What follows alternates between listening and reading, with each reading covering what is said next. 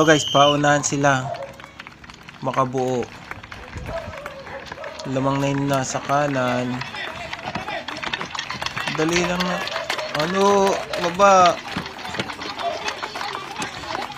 Di ba pwedeng pulutin na nila lahat? Bago ikabit. Dikit ang laban. Mahirap yan. Ako, kabado. Ang hirap nun sa taas. Nope. Plus one. Saan yun? Ano yun? Ah, pagkatapos, papagulong na. Ay, hindi pa pala. Papashoot yung bola doon sa... Ano, panalo na to. Ah, may iba pang pagsubok. Ayun. Eh, ang galing. Ang galing. Ang galing. Oh, sige. Matatalo ka pa. Matatalo ka pa. Ano yun? Di ba pa pa-shoot sa gitna? Paputok naman ang lobo. Op. Sala. Naku, nakakahabol na si Lola. Naku, manalalo pa. Tape pressure. Uy, Op.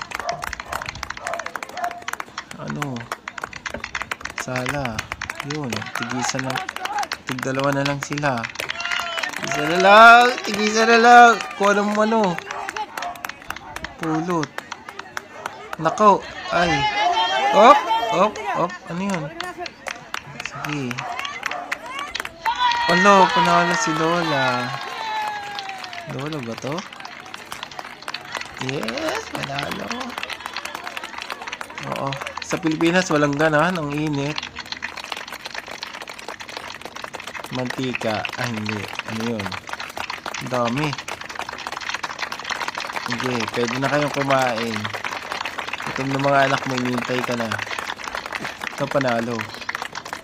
What's that? Oh, kanya na lahat? Ano natira? Sila lang naglaban? Ano?